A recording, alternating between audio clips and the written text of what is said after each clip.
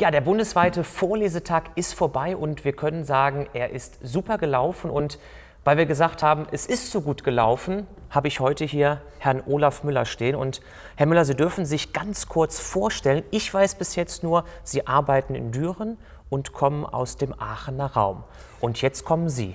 Ja, Herr Schröder, äh, zum einen ist es umgekehrt. Äh, ich bin gebürtiger Dürener und arbeite im Ach, Aachener Raum. Sie. Ja, Sie hören das ja schon an der Mundart. Da sind eher die Eifelspuren drin und nicht der Öscher Singsang.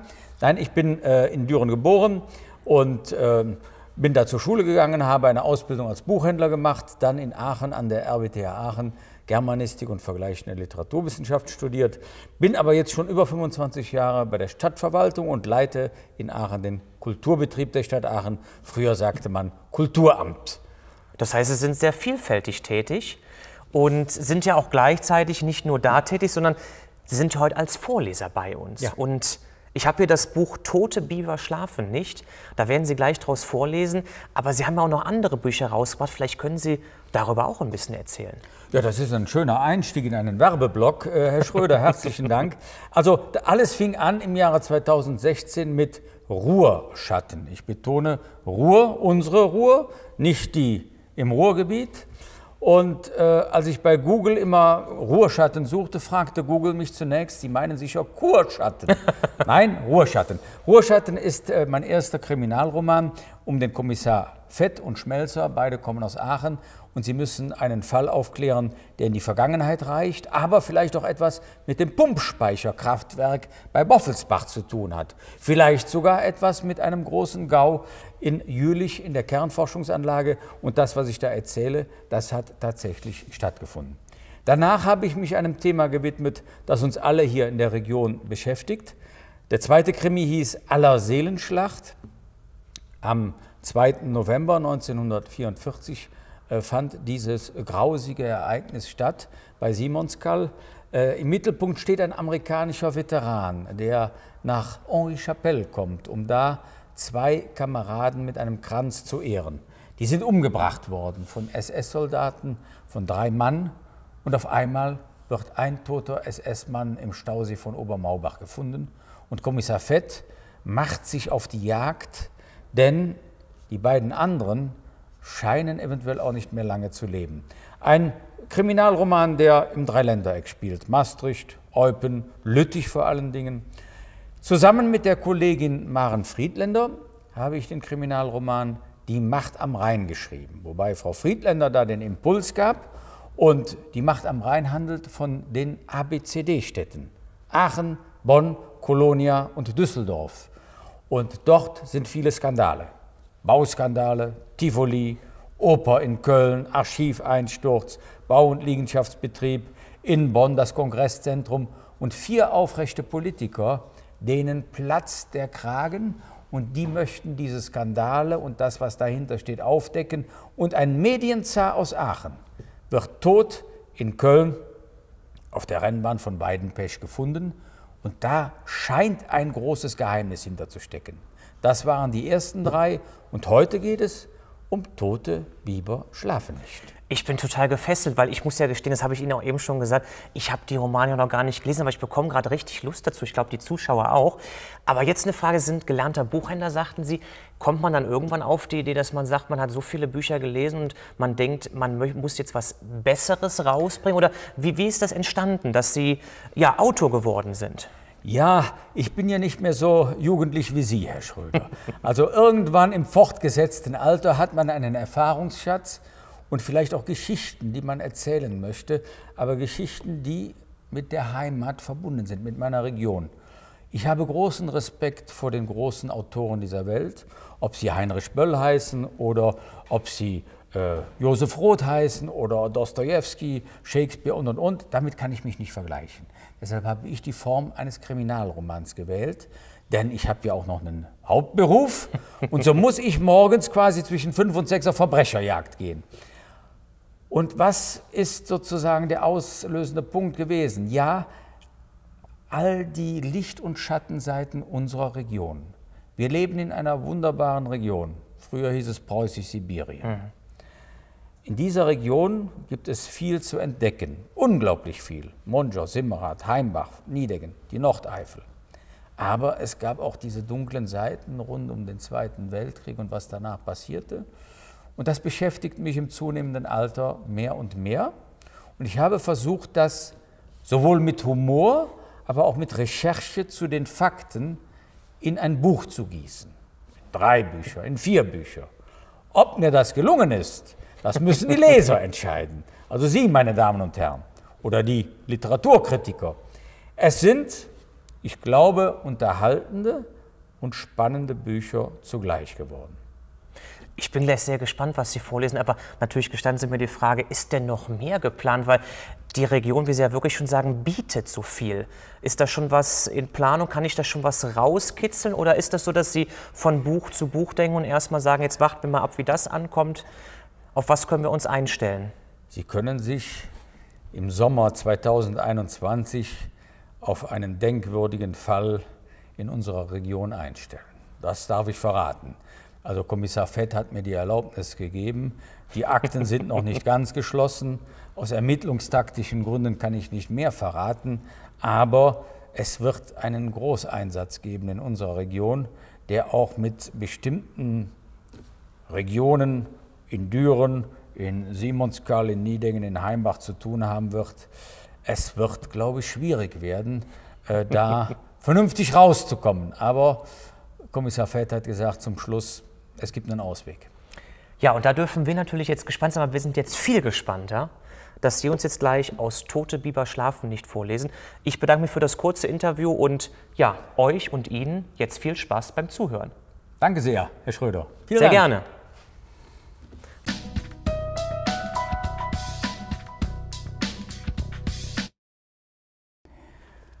Tote Biber schlafen nicht ist ein Eifelkrimi und spielt im Jahre 2018, beginnend Ende Januar, Februar und endet mit dem Pontifikalamt für die Karlspreisverleihung an Emmanuel Macron.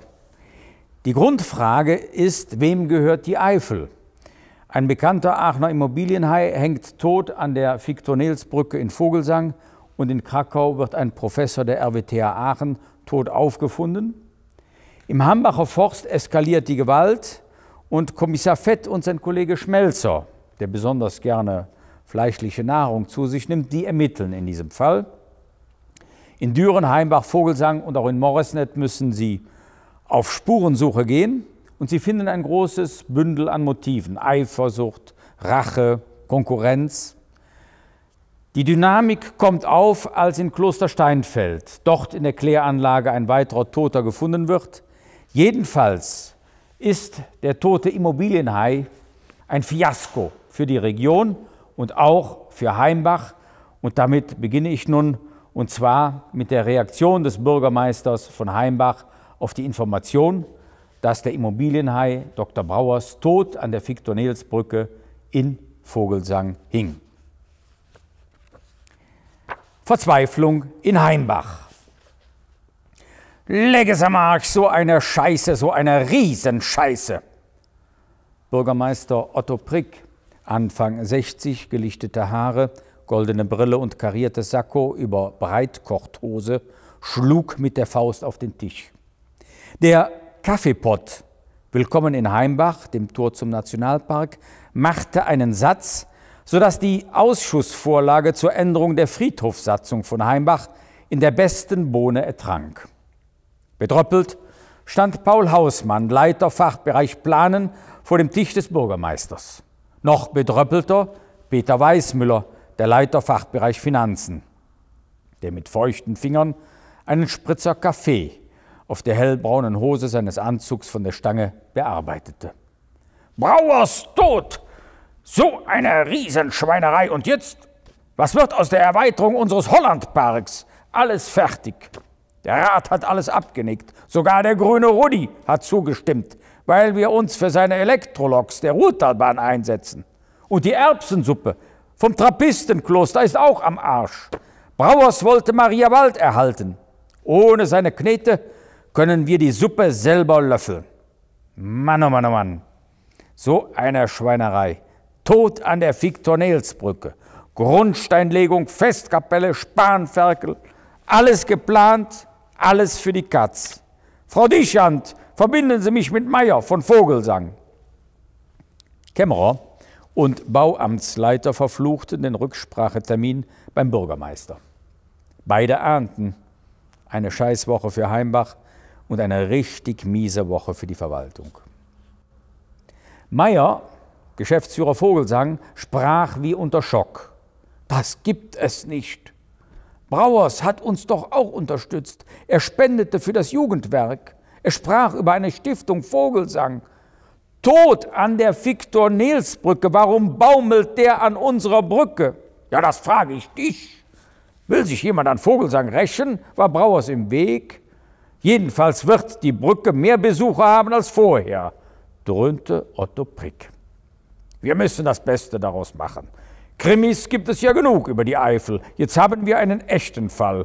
Ist eine schlechte Jahreszeit dafür, aber im Frühjahr kommen die Wanderer und werden sich über das Geländer beugen, an dem Brauers hing.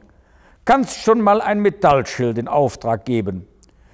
Hier hing anno 2018 der Mäzen Brauers oder so ähnlich. Ja, auf die Werbung kann ich verzichten. Meyer stöhnte unüberhörbar. Ja, dann schon lieber einen Wolf im Nationalpark. Der zieht mehr und bringt es in die überregionale Presse. Ich scheiße auf die Wölfe. Hör mir auf mit dem Mist. Die vergraulen die Touris. Die Nachricht fehlt noch. Wolf beißt Wanderer aus den Niederlanden. Oder umgekehrt. Verdammt, das ist alles ein riesengroßer Käse. So groß wie dein Adlerturm. Hoffe, dass Brauers seinen Laden im Griff hatte und wir jemanden finden, mit dem wir weitermachen können. Infrastruktur und Beschlüsse des Rates stehen. Sogar die Grünen sind im Boot. Und die Biberfrage bei Hausen, die war auch geklärt. Da müssen wir durch, durch diesen Mist. Sonst können wir einpacken. Der Landrat tobt, seine Pläne für die Tourismusaufwertung wackeln wie die Kanadagänse am Obersee. Welche Biberfrage? Meyer war bei den Bibern hängen geblieben. Na, an der Ruhr, da kurz vor Hausen, hatte dieser Biberprofessor alles in trockene Tücher gebracht. Umsiedlung der Biber, eigene Biberbeobachtungsstation und der ganze Kram. Biberburgen, Biberfutter, Biberausstellung, Bibermaskottchen, was weiß ich. Jedenfalls haben wir grünes Licht für den Bau. Brauers hatte die Investoren an der Hand. Jetzt hängt der an der Viktor-Nels-Brücke. Super. Brick redete sich in Rage, während Reste der umgekippten Kaffeetasse in Tropfenform langsam die Hose über seinem rechten Oberschenkel einnästen. Äh, Sie haben ihn runtergenommen von der Brücke. Äh, viel Erfolg, Otto. Ich bekomme heute noch Besuch vom Landschaftsverband Rheinland. Die prüfen die Verwendung der Zuschüsse. Ich mache jetzt Schluss. Ah, die sollen nicht mucken. Wir kümmern uns hier um die Eifel und um die Menschen draußen und die sitzen in ihrem Turm in Köln-Deutz und hängen mittags schon beim Päffken am Kölschfass oder bei der Tant. Mir platzt der Kragen. Seit Jahren kämpfen wir um die Eifel, um unsere Eifel. Jetzt sind wir auf dem Sprung. Vogelsang war die Zündung, ein Ruhr brummt, Eschhaul ist spitze, Ruhrberg ist ein Knaller. Die Weiße Flotte schippert Tausende über den Amazonas der Eifel und auch unsere Kunstakademie ist voll mit irgendwelchen Montagsmalern. Wir brauchen mehr Unterkünfte und die sollte Brauers beschaffen. Wenn die rumzicken in Köln, dann bekommen Sie es mit mir und der Partei zu tun. Ist das klar? Wir müssen zusammenstehen. Für uns, für die Eifel. Hast du mich verstanden? Ja klar, Otto. Meyer kannte den Sermon von Prick. Wir halten zusammen, solange das Wasser der Ruhr fließt. Oh, schön gesagt, Meyer. Kannst ja mal ein Literaturseminar in der Schenke von Vogelsang geben. Und mach dir nicht in die Hose. Bis bald. Meyer und Prick beendeten das Gespräch Beide ratlos, Prick mit feuchter Hose. So, Kollegen, jetzt trinken wir erst mal einen auf den Schreck, auf Peter und Paul. Paul Hausmann und Peter Weißmüller wechselten die Farbe. Sie vermieden es, Bürgermeister Prick auf den Kaffeefleck anzusprechen, denn sie eilten zur Ablage Tee wie Trinken. Ruckizucki stand die angebrochene Flasche Klosterlikör von Maria Wald auf dem Schreibtisch. Drei Gläser stießen aneinander und drei Herren prosteten sich für die nächste halbe Stunde mehrfach zu. Auf den Klosterlikör folgte der deutsche Beamtenlikör, sechs Ämtertropfen. In grauer Vorzeit von Otto Prick gelagert, erblickte immer wieder und zur Überraschung der Mittrinker dieses Traditionsgetränk deutscher Amtsstuben das Licht der Schreibtischplatte. Prost, dröhnte Otto Prick, und mit einem Hinein, Onkel Otto, wurde dieser 33-prozentige Stimmungsaufheller verputzt. Frau Dichand, die Vorzimmerdame, wäre sie denn befragt worden, hätte die Stimmung als ausgelassen beschrieben. Still lächelte sie vor sich hin oder in sich hinein. Die Männer, es sind und bleiben Buben, dachte sie. Dann widmete sie sich der Beilage von Edeka in Hasenfeld, Fischstäbchen im Angebot. Bis das Telefon sie bei dem Preisvergleich von zehn Fischstäbchen bei Edeka und zehn Fischstäbchen bei Netto störte. Der Landrat, der Bürgermeister und die Mitfahrerbank. Dichand, Vorzimmer Bürgermeister Prick. Nöldgen, Vorzimmer Landrat Schmitz-Backes, der Herr Landrat möchte den Bürgermeister sprechen. Die Herren wurden miteinander verbunden. Dieselbe Partei, dieselben Interessen, Eifel aufblühen lassen, Tourismus stärken, Verkehrsanbindung optimieren, den Südteil des Kreises Düren richtig wachküssen und endlich in die Geschichte des Kreises eingehen. Brick, was bedeutet der Tod der Brauers für den Hollandpark? Stillstand, Mehr kann ich nicht vermuten. Prick versuchte, seine Zunge unter Kontrolle zu bekommen. Klosterlikör und sechs Ämtertropfen führten zu einem leichten Kontrollverlust. Gepaart mit einem cholerischen Gemüt konnte dies sehr leicht zu lang anhaltenden Verstimmungen auf Seiten der Gesprächspartner des Bürgermeisters führen. Stillstand ist Rückschritt, Prick. Ja, hat Adenauer auch immer gesagt, brummte Prick in den Hörer. Ein Leichtes Bäuerchen konnte er gerade noch unterdrücken. Mit einer Handbewegung schickte er seine beiden Fachbereichsleiter ins Vorzimmer. Die Tür knallte. Auch diese beiden Herren waren nicht mehr so ganz bei der Sache. Adenauer? Ja, ich meine Adenauer, Sapperlot. Sapperlot? Wie dem auch sei. Halten Sie die Bürger und die Presse, Heinis, ruhig. Wir brauchen keine Gerüchte und keine schlechten Schwimmbäder. Äh, Stimmung. Ich meine Stimmung. Haben Sie getrunken, Prick? Ich warne Sie. Getrunken? Quatsch mit Soße. Hier dampft die Kacke, wir arbeiten rund um die Uhr. Kaffee, dieser verdammte Kaffee, ich bin schon ganz benebelt. Ja, keine schlechte Stimmung. Dann sind wir uns ja einig. Ja, meistens. Aber ein paar beruhigende Worte aus der Kreisverwalt äh, Kreisverwaltung, die könnten schon Wunder bewirken. Was soll das heißen, Prick? Ja, ich möchte die Scheiße hier nicht alleine ausbaden. Wir müssen aus mehreren Kanälen Ruhe verbreiten. Weiß Ihre Verwaltung nicht, wer der Rechtsnachfolger von Brauers ist? Wer schaukelt jetzt den Land, äh, wer den Laden? Sakra. Alles noch unentschieden, Prick. Ich glaube, Sie haben gesoffen. Wären Sie nüchtern. Laufen Sie bloß keinem Journalisten ins Mikro. Ja, super, Mikro. Wir sitzen hier im Tal der Ahnungslosen. Glauben Sie, dass jemand Heimbach sabotieren will, Prick? Sabotieren? Heimbach? Wie kommen Sie denn darauf? Noch so eine Idee und ich trinke mir wirklich einen. Umweltheinis, sprechen Sie mal mit dem grünen Rudi und der grünen Petra. Vielleicht haben die etwas gehört. Und bauen Sie endlich diese verdammte Mitfahrerbank am Ortsausgang von Heimbach. Bricht Ihnen doch keinen Zacken aus der Krone, nur weil die Grünen die Idee gehabt haben. Schon werden die beiden schnurren wie Kätzchen über der Maus. Schnurren. Die bringen mir mit ihren Anträgen jede Ratssitzung durcheinander. Prick. Ruhe behalten. Sie bauen die Ferienanlage, schaffen Arbeitsplätze, Touristen bevölkern Heimbach, die Malkurse auf der Burg sind ausgebucht und ihre Wiederwahl gesichert. Dauert noch zwei Jahre, bis dahin fließt viel Wasser die Ruhr hinunter. Ja, das war bis Freitagabend so, bevor der Brauers an der Brücke hing. Jetzt steht alles in den Sternen. Wissen Sie doch genau, und die Schwimmhalle im Holzbendenpark, die kann sich Düren jetzt auch abschminken. Den Klumpatsch haben sie mit ihrem Dürener Bürgermeister jetzt an der Backe. Prick konnte sich äh, trotz eines gewissen Nebels vor seinem geistigen Auge diesen Seitenhieb nicht ersparen. Ah, nicht so schnell. Ich habe schon mit dem Bürgermeister von Düren alles geklärt. Der Stadtbetrieb kann die bauen. Düren soll weiter baden gehen. Ja, schön für Düren. Kann der Stadtbetrieb nicht auch den Park an der Ruhr bauen? lallte Prick in den Hörer. Das Gespräch dauerte ihm entschieden zu lange. Er schaute wie hypnotisiert auf die Flasche sechs Ämtertropfen. Ja, die dürfen nur in Düren aktiv werden, wissen Sie doch. Ah, Mann, Mann, Mann, Mann, Mann, Mann, so ein Mist.